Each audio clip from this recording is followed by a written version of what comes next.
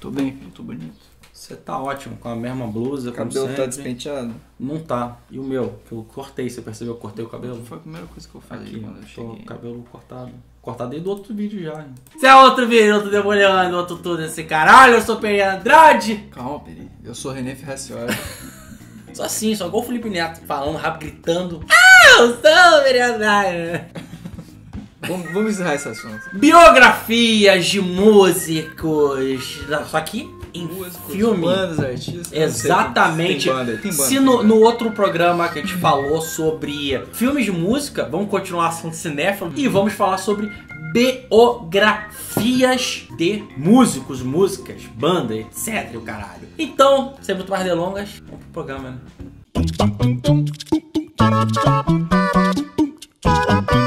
Ah, o que, que você ia começar falando aí? Já começou o primeiro filme, eu não sei qual é já. Não sabe? Não sei qual é. Não lembro o nome. Começa falando isso que eu falei, começa falando de algum de que você conhece. Tá, deixa eu falar um aqui que eu acho maneiro. Hum. Tem uns problemas, não sei, meio morno, mas eu gosto da história, que é o The Runaways. Eu acho legal. Diferente de um filme de música, como a gente tá falando, Uhum. uma biografia, pelo menos ela tem a finalidade de te ensinar alguma coisa ali. Sim, Então, pra alguma coisa ela vai servir. sim, sim. Mesmo que você não aprenda pra caralho, mesmo que seja totalmente verdade, não seja. Mas alguma coisa você vai tirar daquilo, sacou? Uhum. Runaways entra pra mim nesse aí. Eu não sou, tipo, fãzão de, de Runaways Também ou não. de Joan Jett, mas... É legal Ah, pela é- representatividade. É, eu acho que é, foi, acho que foi o primeiro filme que eu vi com a Kristen Stewart que eu achei que ela mandou bem, assim. Uhum, porque a, a gente sempre. Antes a gente sempre tinha referência ali do Crepúsculo, né? Eu ainda acho que ela é fraca, mas ok. Mas esse Mas filme esse ela manda filme ela manda bem. Uhum. Tem o. o O Zod, o Zóio, esqueci o nome dele do empresário. Michael Shannon. Michael Shannon, que ele Aham. é sempre muito, muito bom, muito assustador. Sempre, tem Sempre. aquela Sempre ele é, ele é sinistrão. desgraçada. é. E, tem a Dakota Fanning. e tem a Dakota Fanning mandando benzão também, eu acho. Que ela é a Cherry Bomb, né? Que é a principalzinha vocalista. Sim, né? sim. É bonzinho esse Eu filme. gosto, eu gosto desse filme, eu- porque eu gosto também especialmente do contexto, que acho que tem dois contextos que eu gosto bastante, que é anos 70 ali, Uhum, né, uhum. era de ouro do rock and roll Uhum. e, e primórdios do hip hop também, são assuntos que assim... Mas passa isso no filme? Não, não, eu só tô falando Ah, da época. que esses são dois assuntos e Runaways é um dos, Uhum. uma das épocas que eu, que eu acho maneiras. Tem todo o lance ali da relação com o empresário também, que é Uhum. uma merda, e porque isso É é, muito comum, cara, é. né, tipo, a galera quer fazer de tudo pra ganhar o dinheiro e expõe os artistas a muita merda. assim, Esse foda. filme, inclusive eu posso linkar num outro que inclusive também fala de hip hop, é, que é o Straight Outta Compton. São dois filmes que a relação mostra bem a relação babaca do, Sim. do empresário, empresário, com é, o, a banda. o lado comercial da música ali. O Straight Outta Compton eu não gosto tanto. Eu sei que você... Eu acho que tem alguns problemas, mas eu gosto. É muito porque, pelo contexto histórico, assim, não é um filme que eu fico, tipo, Sabe qual a parada? militando ali. Então, essa palavra.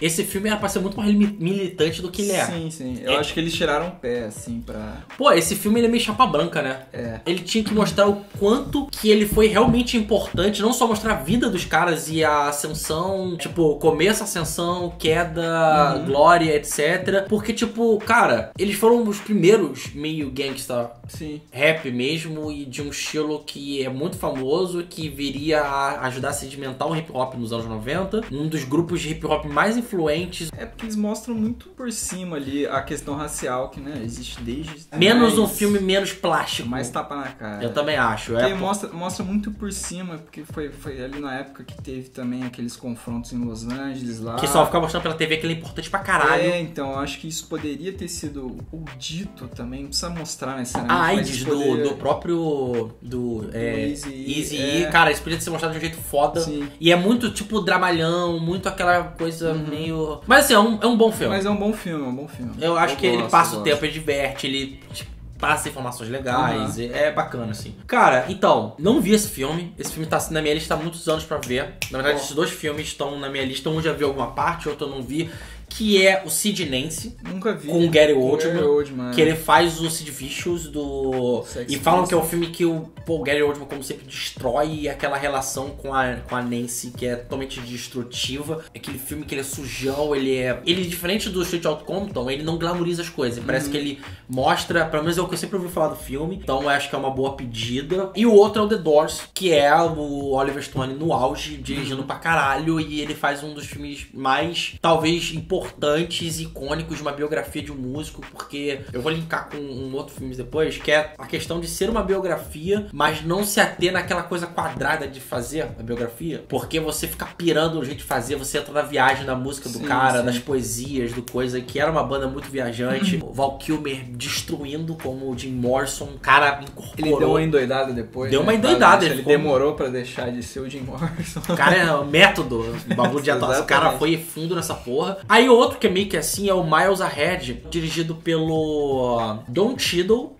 que ele faz a biografia do Uhum. Ah, Porra, Miles, agora Miles dei- Agora eu Davis. me dei conta de qual filme é. Mas tu viu esse filme eu já? não vi, eu não vi, mas Cara, esse é. filme, eu acho bom pra caralho esse filme. Que eu acho que ele fez até independente. assim, Totalmente. né? E, e a maneira do filme, porque, tipo assim, ele bota um personagem meio que fictício no filme que é o Ian McGregor, porque eu não sei se ele existe de verdade, mas é tipo uma história muito, muito- meio Uhum. doida, que some uma gravação ali dele, que ele, uma parada, eles ficam tentando catar isso no filme, e o Don Cheadle faz o Miles, e é um cara meio, é todo desprocado e tal, Uhum. e a dinâmica é como se fosse uma história, uma trama, isso pra contar o como que o cara era gênio e a transição de um estilo dele da áurea mais quase decadente e ele voltando a ser o Miles, porque ele sempre é muito transgressor e mostra isso muito no Uhum. filme. E mostra como ele era autodestrutivo, como. Cara, é uma atuação muito foda, um filme muito maneiro, muito legal. E que, assim, não muita gente viu esse filme. Uhum. E eu indico pra caralho, eu gosto muito desse filme. Johnny Jr. eu acho bem legal, cara. Gosta mesmo? Gosto, gosto. Eu, na época que eu vi, eu lembro que eu tinha muita comparação porque tava no seguido, assim. Foi o ano seguinte do Ray.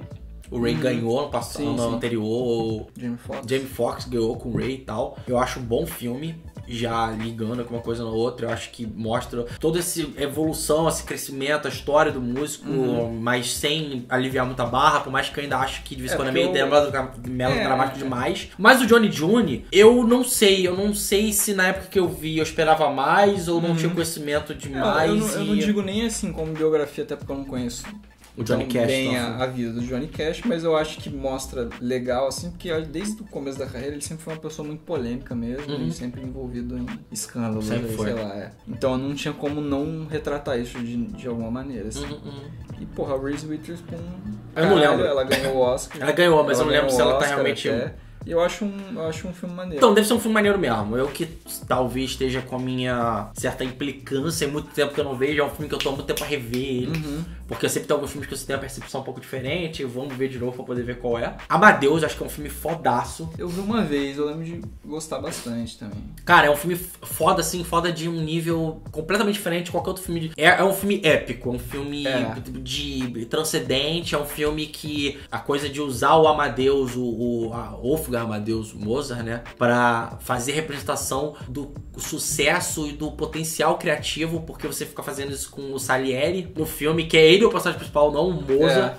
É, ele tem inveja e é o único cara que consegue admirar todo o, o talento do cara. Mesmo o Mozart sendo um rockstar da. Porra, música é, e é clássica muito lá, ele foda era essa proposta, né, cara? É. É. muito maneiro. Três horas de duração, é gigantesco o filme, mas, É. mano, é uma aula de Não, cinema. vale a pena, vale a pena. Uma aula de música, é, é, cara, é um filme. Miles Forman, que era o diretor desse filme na época, ganhou Oscar pra cara desse filme, é, que inclusive fez uma das músicas mais clássicas da história do cinema, que é o Hair. Sim. Aqui um último gringo que a gente não falou ainda, que acho que a gente pode citar, que é Não Estou Lá, que é a biografia do Bob Dylan, que eu gosto muito da proposta também, que é o diretor do Velvet Goldmine, que é um filme que eu gosto de ser meio doido, meio é meio que fala do David Bowie da do Rock Glenn sem citar nomes. É, eu acho maneiro, eles tem o Christian Bale e o maluco que fez até o filme do Elvis depois lá, que eu não lembro o nome dele. Jones, não, não, é fez Match Point. Ah, não lembrar. Não lembro o nome desse maluco, mas ele faz esse filme, é bem legal, gosto do, do filme. Mas aí o Não Estou Lá é a biografia do Bob Dylan, que vários atores são Bob Dylan. Sim, sim. A Kate várias- Blanchett ganhou o Oscar sendo Bob Dylan. Várias épocas diferentes da carreira do Bob Dylan também. É, é, passa, porque ele, ele é meio. é, Como o Bob, como, como o David Bowie, ele é meio camaleão. Ele teve várias Sim, épocas, sim. várias ideias, várias construções e tudo. E o filme vai querendo mostrar isso, pô, é, diferente jeito de fazer o filme, diferentes atores, Aham. inclusive de gênero. Cara, maneiro. Deve ser muito. A, a ideia sempre me chamou muita atenção. Sempre achei isso muito maneiro. Agora, vamos falar alguns brasileirinhos, né? Uhum. Cazuzinha, Tempo Não Para. Casos eu nunca vi inteiro, cara. Eu já vi. Eu lembro que na época eu não gostei, mas eu. Eu, não- tinha. O que eu, eu vi, eu gostei. O que eu vi, eu gostei bastante. Então, eu, minha capacidade é, de filme era muito fraca ainda, talvez pra entender o Cazuza, ou pra gostar demais. Até de musicalmente também era. Sim. Então é um filme que. É porque assim, a gente como brasileiro, por padrão, a gente sabe quem é o Cazuza e conhece umas músicas, assim, mas aí saber ao fundo. Exatamente. O que me marcou muito, assim, é tipo, o Daniel Oliveira virou o Cazuza ali mesmo. Virou. É, e ele é puta ator, acho ele bom pra caralho. Cara, o que eu mais gosto dessas biografias de músico, assim, que é o Dois Filhos de Francisco, eu acho maneiro pra caralho esse filme. Eu vi há muito tempo, não é muito bem. Cara, eu já vi algumas boas vezes esse filme, eu vi no cinema. Uhum. E sempre quando passava na TV eu revia, que eu achava realmente muito legal esse filme. Eu gosto pra caramba dele. Eu acho que ele é bem. Ele é bem bonito, assim, na simplicidade dele. Ele tem toda uma fórmula. Ele foi o que sacramentou essa fórmula que dá certo fazer biografia de músico Aham. aqui no Brasil. É. Virou um puta fenômeno do caralho. Mas acho que ele virou mais um fenômeno porque ele é um filme honesto. Sim. Eu gosto muito do filme por esse motivo. Assim, eu acho que as atuações são boas, as situações são muito convincentes. Ao mesmo tempo são bem típicas brasileiras, assim. É isso que eu ia falar, porque a gente tá acostumado a ver biografia e os artistas parecem sempre, mesmo você sabendo mais sobre a vida da pessoa e tal, é uma coisa muito distante, dependendo. Nossa, assim. né? E Dois Filhos de Francisco é tipo, são, é, sabe, a família, tudo é muito, muito brasileiro. Muito de brasileiro. Fato, então é muito fácil se identificar com um monte de situação. Cara, eu vou falar pra você que tem uma cena que me marca muito, que eu acho muito. Eu acho, cara, ela, ela, ela, ela é bem. Ela é bem forte essa cena. Que é quando a mãe fica perguntando aonde tá ele, aonde tá ele, e os meninos, o menino não fala lá. Ele tá aqui, ele tá. Aí o pai vai falar lá, o Francisco, e ele abre a mala. E tá o, o, caixão. Uhum. É, é aquele filme que aquela cena que te dá um mundo de sensação naquele instante, assim, eu acho do caralho, assim. Tim Maia e Gonzaga de, de pai pra filho. Tim Maia eu acho um filme bacana. Eu vi depois que é, Globo Filmes eles têm essa- esse costume de lançar o filme e depois lançar o filme dividido e faz Aham. uma sériezinha. Sim, sim, o Tim Maia eu série. assisti, eu gostei. Eu, eu acho que o Tim Maia, ele ganha porque a história do Tim Maia é meio carismática. Sim, é. Mas só que eu acho era que ele um- merecia uma profundidade Ele maior. era um doidão ali também. Essa que é a parada, é um filme doidão. Uhum. Mas não tem a profundidade necessária pra ser um filme do Tim Maia.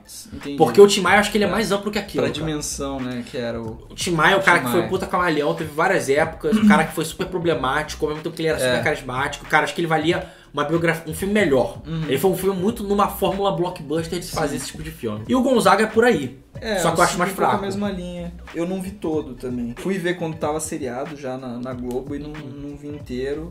Eu vi no cinema, quando eu vi na faculdade, se eu não me engano, passou no. Passaram tipo uma, uma pré-estreia, assim. Eu acho um filme Sei. ok, assim. Acho que os atores não são tão bons, eu acho que o ritmo não é tão legal. Aquela coisa que até da biografia que é legal, aquelas descobertas musicais, o- a Aham. evolução do cara como músico, isso às vezes não fica tão. É legal às vezes quando tu vê um filme tu fala assim, caralho, olha o que o cara tá fazendo, olha o que o cara tá descobrindo, olha como que o cara tá agindo. Isso, isso engrandece um pouco, por mais que o filme não seja tão foda, isso faz com que o filme fique um pouco mais legal. Eu, eu acho que não foi lançado comercialmente ainda, mas saiu no Festival do Rio. Eu não vi, mas vi o show depois. Foi o Legalize Já, que é a história do B2 Você viu o conhecendo... show? Eu vi o show. Você foi ver o show Punch Ramp? Eu fui ver o show do Planet Ramp, foi um dos melhores shows que eu já vi já.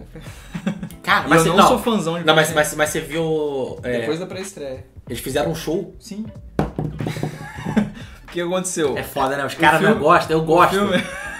O filme, o filme é a história do D2 conhecendo o Skank, Aham. né? Todo o surgimento da banda ali e tal. Aham, aham. Depois teve um show no Circo Voador, que eu- a gente conseguiu ingresso, foi. O D2 no palco é um, É um monstro. É um monstro. É um Parece monstro. que ele tem 20 anos de idade. É, cara. é um absurdo, é absurdo. De vez em absurdo. quando ele senta na cadeirinha de praia dele ali, toma Cara, cerveja, mas Que, que ideia, essa bagulho da cadeia mas de é praia um, é muito mas bom. é um showzaço. E o filme, é, um assunto, na verdade, a gente deixou de falar desse filme que tava na listinha, mas é porque eu acho que tá faltando um filme bom no Brasil Hum. pra falar do rock brasileiro ali dos anos 80, do B-Rock. Tipo do, do Rock Brasil, porque, né? É, porque o Somos Tão Jovens, que é a biografia Ah, ali, é, do pode crer, comecinho da vida do, do Renato Russo ali, o filme termina com o surgimento do Legião Urbana, assim. Ele mostra um pouquinho o contexto ali, entendeu? Tem Dinheiro Preto, Mas tem... o filme é cagado, né? É, é. É porque, tipo... Cara exagerado. é porque... de- é, mas aí, o filme serve também pra mostrar o quanto o Renato Russo era chato, cara. Ele era muito chato. Mas o problema é que eu acho que ele não. Parece que é mais chato mais no filme. É, talvez tenham deixado Vamos ele enchatecer pouco mais ainda, né? Isso que é foda. Mas eu fiquei curioso, entendeu? Mostra ali o, o, o Concordo. Herbert Viana ali e eu fiquei tipo, caralho, eu queria saber. Sabe o tipo, que é legal? essa- Tem, tem aquele filme que tem algum personagem que ele tá transitando entre eles, mas Sim. ele não é o, o cara do meio. Exatamente. Sacou? Então, Eu tipo, acho que esse- mostra isso ali, sabe? Plebe Hood, mostra tipo, essa coisa assim, mas